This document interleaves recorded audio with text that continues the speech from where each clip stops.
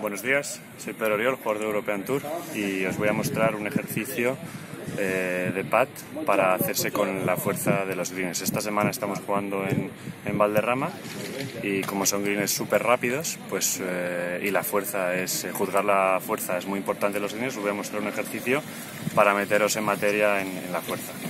Mira, aquí veis que, que tengo ahí una, una bueno, es, es la llave de mi, de mi taquilla esta semana y aquí tenemos un hoyo. ¿no? Pues el ejercicio consiste en dejar cuantas más bolas posibles desde el número 84 hasta aquí y la primera tiene que ser lo más larga posible, es decir, retiro este pad, intento acercar lo máximo posible al 84, eso está muy bien, y la siguiente bola siempre tiene que ser más corta que la, que la anterior, lo cual esta la tengo que dejar más corta.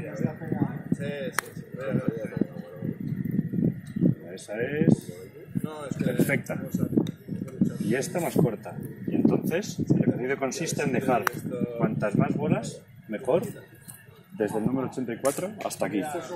Y, es- y si nos pasamos, pues tenemos que volver a empezar. O sea, siempre tiene que ser más corta. Por lo cual es un buen ejercicio para, para hacerse con la fuerza a las greens y, está, y en Valderrama, que es algo muy importante, pues es, es un ejercicio cojonudo.